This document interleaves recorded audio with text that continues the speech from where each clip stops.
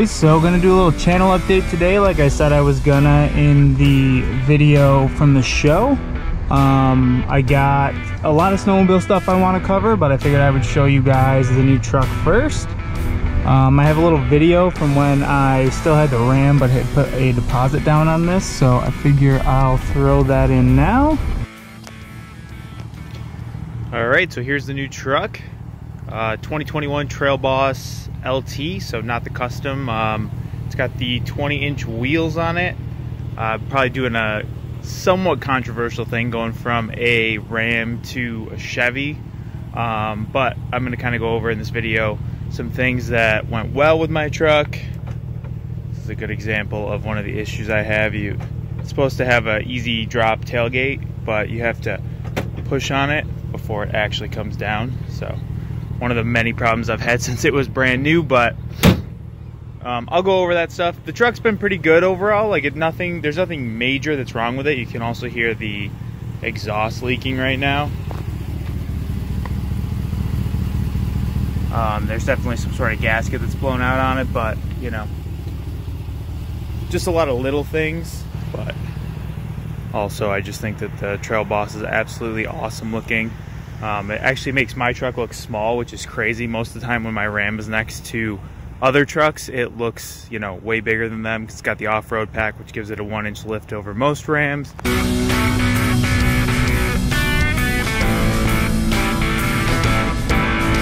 All right, yeah, so like I said in that video, there were a few things wrong with the Ram by the time I got rid of it. There was no like detrimental issue with it, um, anything that like would make me afraid to drive it, but it definitely didn't inspire the most confidence in me as far as owning it out of warranty. Um, like I said in that video, there was the exhaust, there was like that phantom shifting issue. Okay, so I realized I never actually described the transmission issue. Uh, it was super random when it would happen, but occasionally it would act like it was in tow haul mode. Um, it would like hold gears and it would rev a lot higher for no apparent reason. It was not in tow haul mode. Um, I have no idea what would cause it, and I did notice it would happen a little bit more often in the winter. Um, but other than that, I could never nail it down. It was difficult because it would do it, and I would turn the truck off, and then when I turned it back on, it wouldn't do it again. So um, it was almost impossible to get it diagnosed. But um, yeah, that was that was another issue. Another quick one I forgot to add was in town. For whatever reason, I would lose my FM signal. Um, I have absolutely no problem in any vehicle keeping a signal where I live. So the fact that it would do that didn't make any sense to me.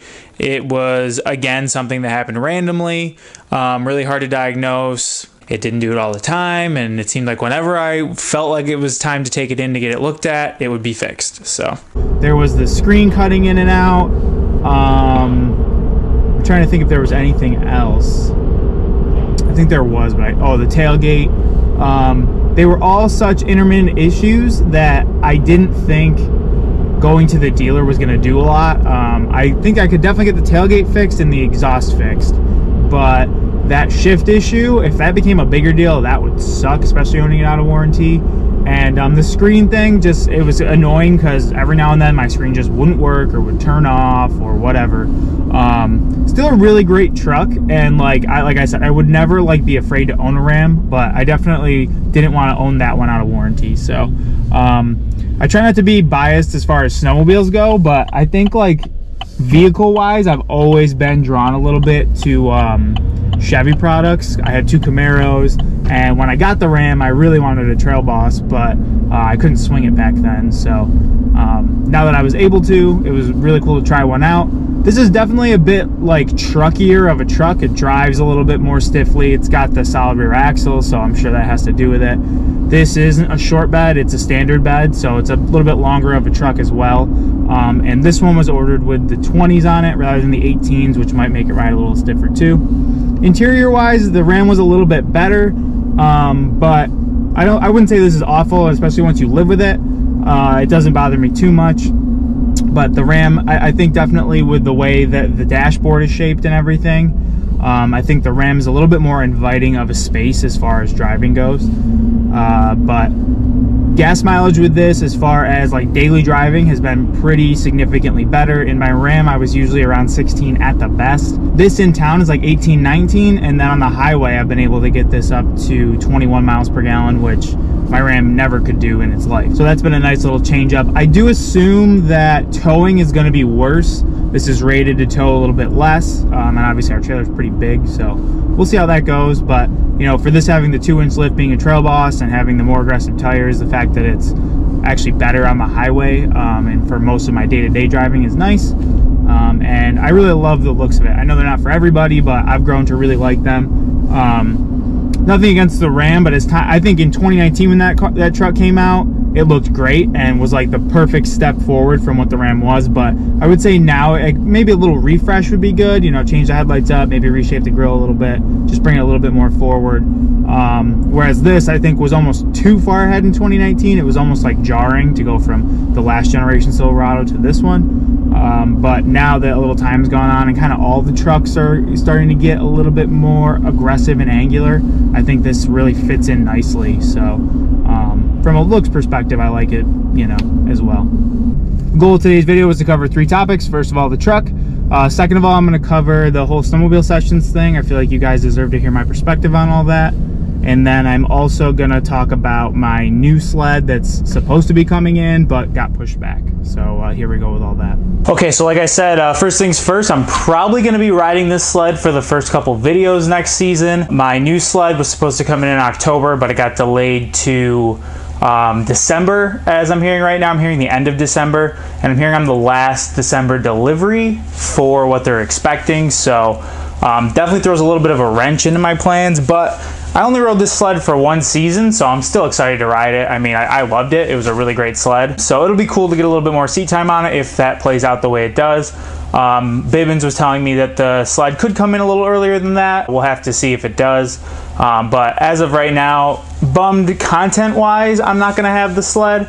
But um, like I said, I've only had this for a year. I'm still excited to ride it. On that note, I'm going to do my best to make some content in the meantime, but obviously not having a new sled to work on, parts to put on it, that sort of thing it's going to be a little bit tougher, but there's still some things I want to talk about. I have a few topics to bring up with you guys, some stuff to do to this sled. So um, we'll do our best to you know come up with something, but um, obviously not going to be the typical off season. The biggest reason I held on to this sled was in case this happened. When this happened in 2019, I had no option. Like I had sold my sled that time in August and uh, I had nothing to ride, and I didn't come in until January. So I didn't want that to happen again, so I planned ahead. Obviously, still have this sled, and depending on when it comes in, I might hang on to this sled for a couple videos, you know, to be able to compare it to the new sled.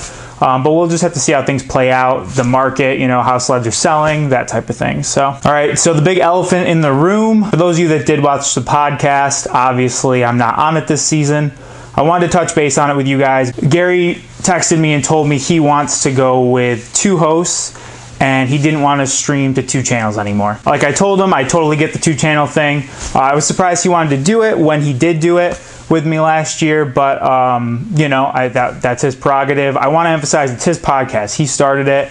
Um, so I always give him all the credit for it and uh, always tried to, you know, even things out as best I could behind the scenes, but it's tough, you know, two separate channels, two separate monetizations, two separate sets of super chats.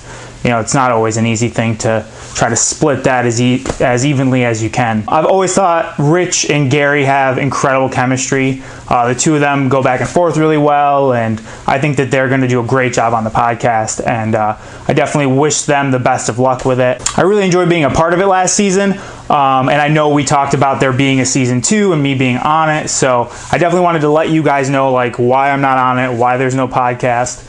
Um, and you know, it could be something I do again down the road. Uh, I would want it to be a little bit more in my wheelhouse, a little bit more like technical, a little bit more into the sled aspect, and um, just cover more sled stuff that I can't always talk about in all my videos. Definitely still really excited for the season. I can't wait for it to get going. Um, it's crazy. It's already almost the end of October right now, but uh, once the new sled's in, we'll get out there riding, and hopefully it's a nice early winter. You know, unlike last year when we got out there early in the season, the, the conditions were a bit dicey. So um, if there are things you guys want me to cover too, let me know down below. I have, like I said, I have a few video ideas I'm definitely going to go over, um, but I'm always looking for more things to talk about, especially if it's things you guys are interested in. So um, definitely let me know, and uh, we'll see you in the next video, Brap Gang.